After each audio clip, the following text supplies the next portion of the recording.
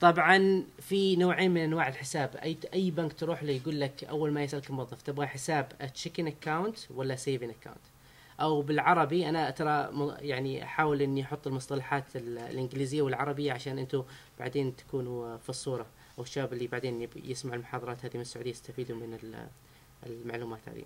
ال checking account اللي هي عبارة عن الحساب الجاري زي نظامنا في السعودية.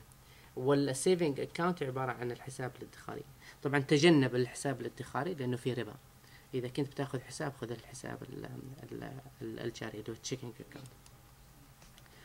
آه، زي ما أشرت آه، إليه سابقا البنوك تختلف يعني كل بنك فرضا ما هو فرضا زي السعودية آه، عنده نوع واحد من أنواع الحسابات وخلاص هنا لا أنت تروح البنك يعطيك لستة يقول لك إيش تبغى إيش تبغى يكون حسابك بعضها مجاني وزي ما قلت لك عيوبه إنه تكون العمليات السحب محدودة شهريا أو بعضها عليها رسوم لكنه في النهاية يريحك.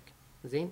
آه أنا لو بأنصحك أقول آه حتى لو دفعت لحدود الأربعة إلى خمسة دولار حتى لو فرضا لو وصلت سبعة دولار شهريا بس إنه تسلم من عملية إنه آه هم يعني حاصريك بعدد معينات من السحب آه يكون أفضل لك. لأنه أعرف بعض الشباب يعني دفعوا حدود الأربعين دولار بسبب إنه كان عنده عدد محدود وهو نسي الموضوع. بس برضه حيجيك الموظف يقول لك إيش رأيك في كذا؟ وإيش رأيك في كذا؟ وإيش رأيك في كذا؟ وإيش رأيك في كذا؟ آه أنا ما أقدر أدخل في تفاصيل كل بنك بالتفصيل لكنه آه لا تختر أكثر مما تحتاج آه عملية الليمت ترانزاكشن مهمة لكن في الباقي الثانية أنت أعرف يعني بصرفيتك أعرف باشيائك لا تختار أكثر ما تحتاج آه معلومة مهمة جدا. آه ما حتتيسر لك أمورك في آه، بعد اليوم الأول من الحساب إذا ما كان عندك شيكات مؤقتة يعطيك البنك. زين؟ تأكد إنك إذا لما تطلع البنك والبنك مشالك أمورك وفتح حسابك إنك تطلب على الأقل شيكات مؤقتة. ويعطيك شيكات ما عليها اسمك. غالبا فرضا الشيكات الرسمية يقول لك اسمك فلان الفلاني ساكن في الحي الفلاني. لكنه أو في أول يوم في في الحساب يعطيك شيكات تقريبا من 10 إلى 15 تمشي فيها أمورك. وهذه حتفيدك كثير في السكن وحتفيدك كثير في التلفون وحتكلم عليها بعد شوي. آه برضو البلد هنا يختلف عن السعودية. إحنا يمكن أنا عشت في السعودية فترة طويلة عمري ما صرفت الواحد كتبت الواحد شيك. هنا دفاتر الشيكات ما تأخذ معي سنة إلا مخلصة. زين؟ آه فتحتاج هالشيء. إذا كان عندك عنوان ثابت وأنت عارف مكانك خلي يرسلوا لك دفتر الشيكات على على عنوانك وخذ شيء سهل. يعني لا في هم يعطيك برضو خيارات بسيطة خذ أقل شيء لأنه ما ما حتفرق معك. إذا كان والله عنوانك أنت ساكن في شقة مفروشة أو ساكن في مكان ما تدري حتغيره أضمن لك آه إنك تخلي ال- البنك يخلي الشيك عنده الفرع. وبعدين هم يتصلوا عليك وبعدين أنت تروح تاخذ الشيك. برضه شيء نقطة مهمة هنا. فرضا أنا فتحت حسابي في آه، في آه، في فرع هنا في ريتشموند. زين؟ هذا حيصير دائما مرجع الاساسي البنك, البنك. أي أوراق يرسلها لي البنك أي فيزا إذا ما أرسلها على عنواني ما حيرسلها على فرعي زين؟ آه بس هذا لا يعني إنك أنت تاخر اجراءات البنك إنك لازم تفتح عشان عشان تفتح حسابك في بنك قريب من سكنك الدائم. أفتح حساب لكنه هذه خليها في بالك انه إنه آه، فرعك اللي تفتح فيه حسابك حيكون فرعك الرسمي اللي ترسل فيه أوراقك.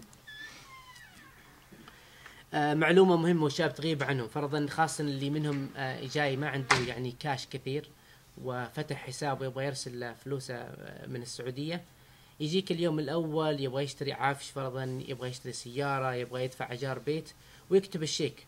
وما يدري إنه الفلوس اللي جت السعودية ما بعد وصلت في الحساب ويقعد يتشرج. كل ما راح الشخص هذا البنك وحاول يسحب وما انسحب منه يدفعوك غرامه فأنت تاكد برضو هذه. يعني فرضا أنا لو رحت وبيت عجبني من اليوم الثاني لكن ما عندي في حسابي آه، مبلغ يكفي أعطيه الشيكر الشخص هذا عشان لا أفقد المنزل. لكن برضو أنبه ال- ال- صاحب البيت انه إنه الحساب الآن توني حولت فلوسي من السعودية وتوني واصل آه، فالرجاء إنك ما تسحبه آه، ما تروح البنك تحاول تسحبه لأنه حيغرموني. فأنت لازم تصير واضح معاهم في النقطة هذه. آه، الشباب اللي جايين بعائلة طبعا أنا أحبذ وممكن بالعكس أنصح الجميع منهم إنه حتى زوجتك يكون معها آه، يعني بطاقة صراف. الواحد ما يدري عن الظروف آه، وما يدري عن اللي يصير. ف لما تكون زوجتك عندها بطاقة صراف فرضا أنت في العمل أو في مكان بعيد هي تقدر تدبر أمورها.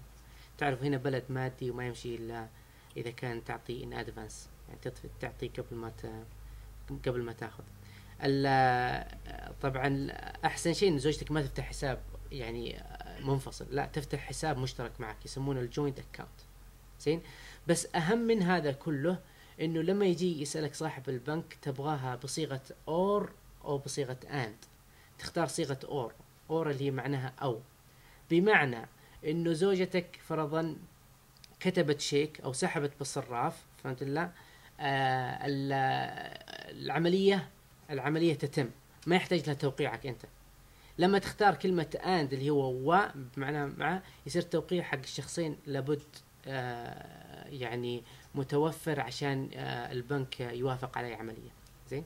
النقطة هذه واضحة؟ joint آه account وتأخذ صيغة or ما تأخذ صيغة and آه بهذا الشكل يكون خلصنا البنك آه ويعني مشاكله. آه بصيغه بصيغة مختصرة جدا.